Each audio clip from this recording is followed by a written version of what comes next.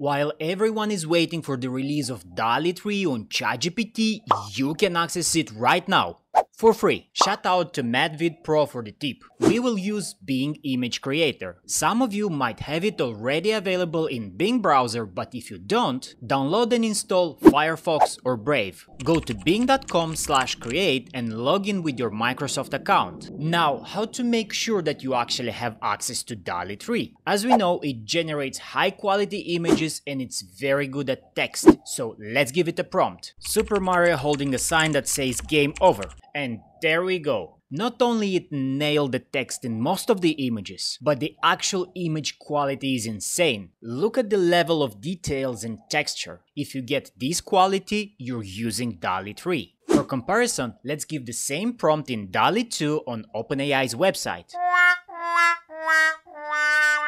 Huge difference. Let's have some